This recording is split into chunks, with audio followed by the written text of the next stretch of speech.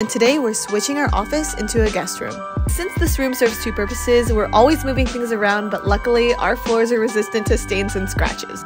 And typically we would make things easy, pull down the bed, and call it a day, but since it's the holidays, we have to make this room a little festive. You might be wondering what kind of flooring we have, and it's the Lake Constance Beech laminate flooring by Dream Home from LL Flooring. What really drew me to these floors were its natural look. It goes so well with all of our decor, whether it be every day or during the holidays.